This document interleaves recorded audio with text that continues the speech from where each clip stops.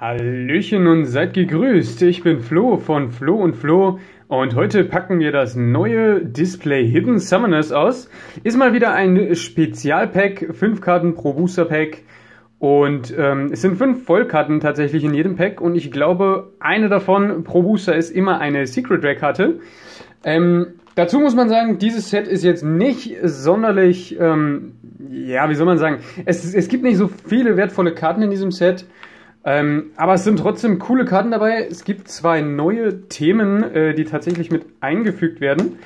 So, kleinen Moment. So, da haben wir das wunderschöne Messer. Genau, also zwei neue Themen werden eingefügt. Das ist zum einen ähm, Mayakashi, glaube ich, heißt es. Und ähm, Streichbuben kommen jetzt mit dazu.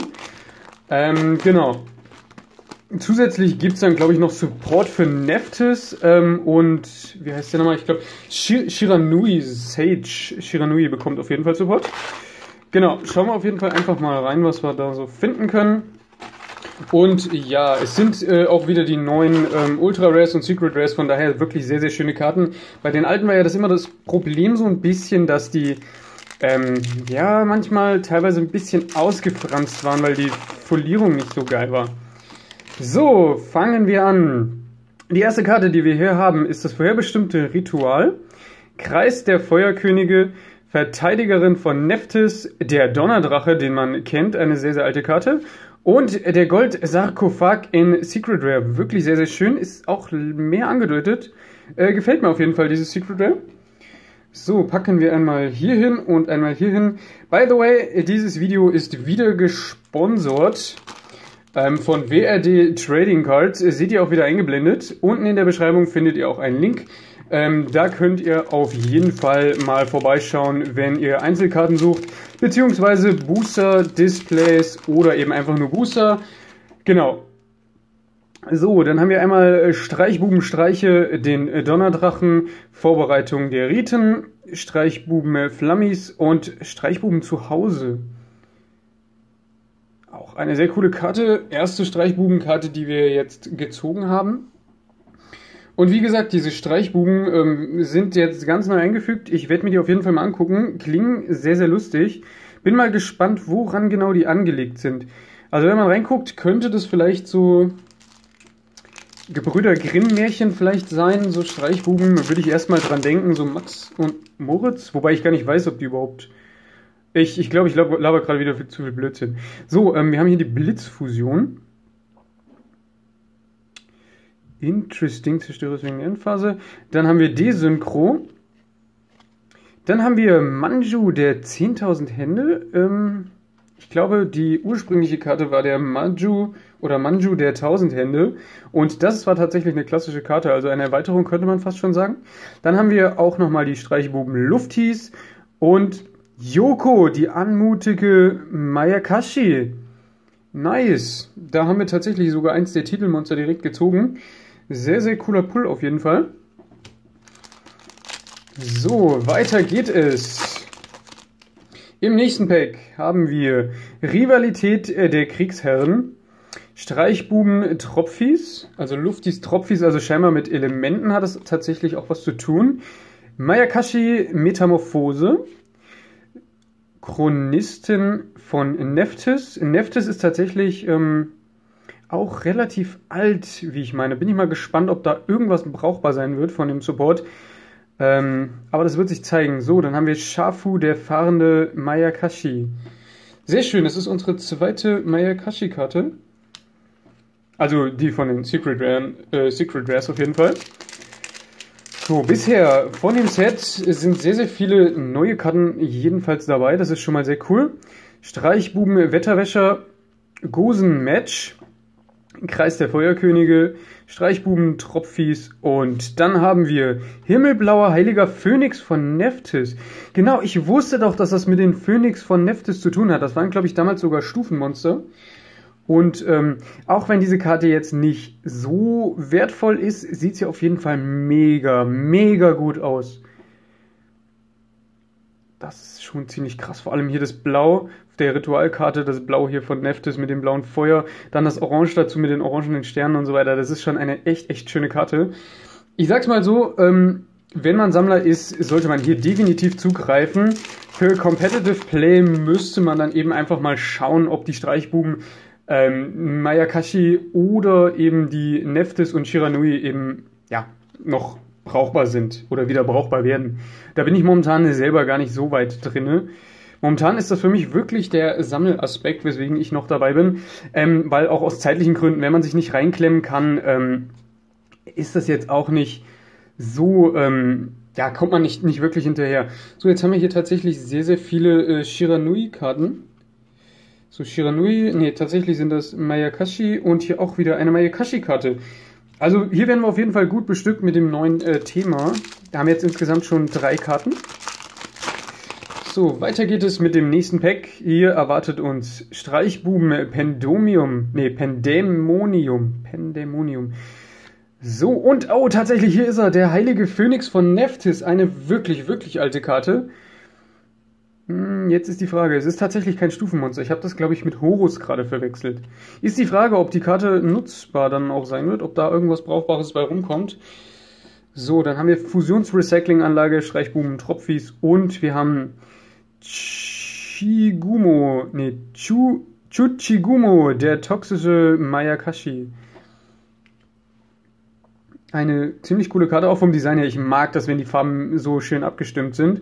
So weiß, schwarz und hier so der Hintergrund so ein bisschen weiß-schwarz. Das ist schon sehr nett, nett auf jeden Fall. So, nehmen wir vom anderen Pack nochmal eine runter und schauen, was wir da drin haben. Und hier geht's direkt los mit dem Heiligen Phönix. Windsturm, der Phönixflügel, auch eine alte Karte. Streichbuben, Wettwäscher. Tsukahagi, der toxische Mayakashi. Und dann haben wir, oh, Streichbuben, Kikeri Krähen. Sehr, sehr cool. Jetzt weiß ich gar nicht, ich glaube, das war eine der besseren Karten der Streichbuben. Bin mir da aber nicht ganz sicher. Ist auf jeden Fall ein lustiges Design. So, Nächstes Pack. Langsam dürfte es auch anfangen, sich zu wiederholen. Sehr cool. Zauberer der Dämmerung. Sehr schön. Kannst aus dem Gegnerdeck, ähm, aus dem gegnerischen Friedhof verbannen. Ist auf jeden Fall sehr, sehr nice. Streichbubenplan. Chronistin von Neftis, Manjo der 10.000 Hände. Und hier haben wir nochmal Yoko, die anmutige Mayakashi. Sehr nice.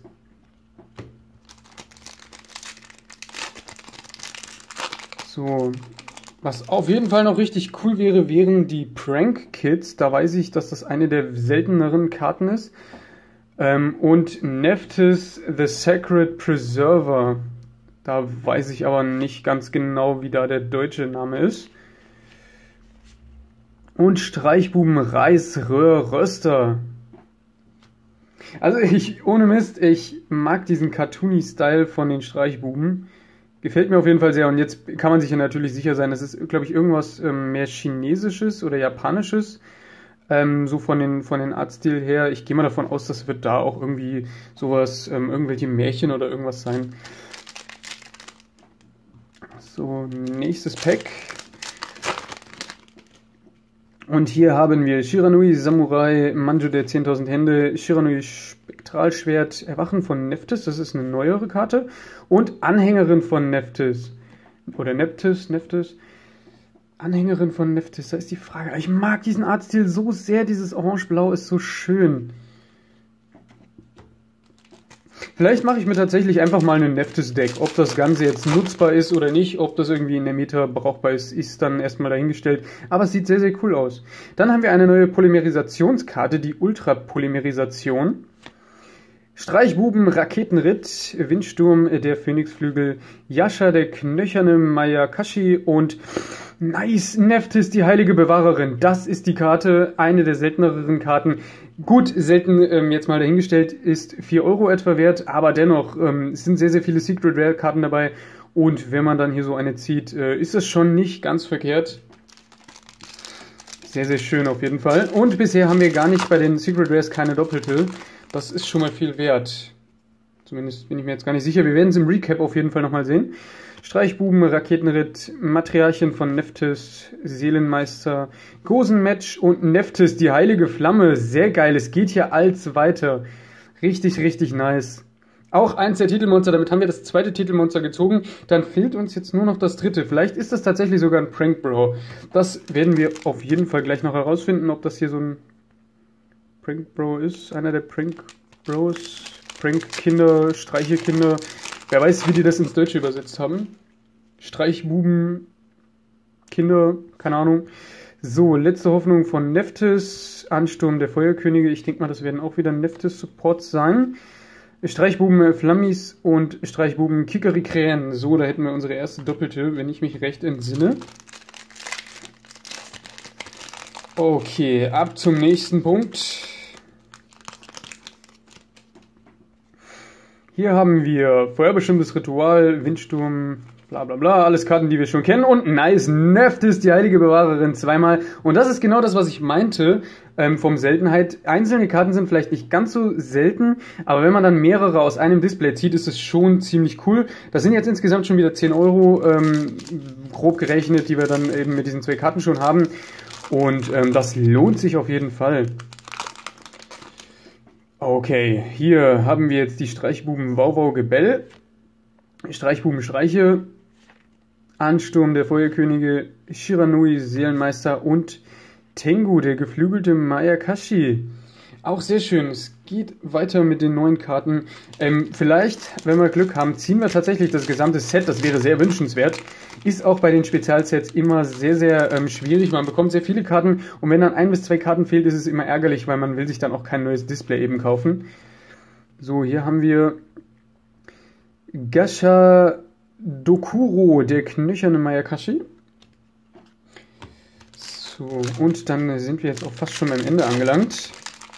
Ist ein kleines, knackiges Set auf jeden Fall. Mit wirklich vielen, vielen neuen Karten. Es gibt natürlich die Neftis-Monster.